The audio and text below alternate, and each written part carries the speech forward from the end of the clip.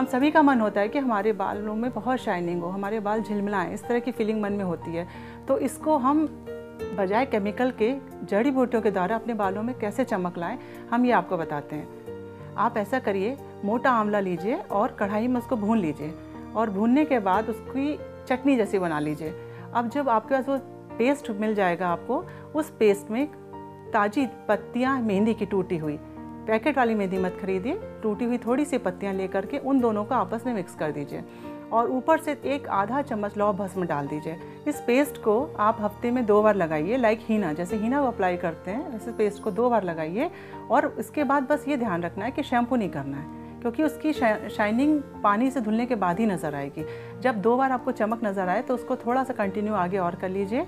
एक महीने तक ही करने से आपके सारे बालों में ऐसी जान सी आ जाएगी और शाइनिंग और झिलमिलाहट अलग ही नज़र आने लगेगी।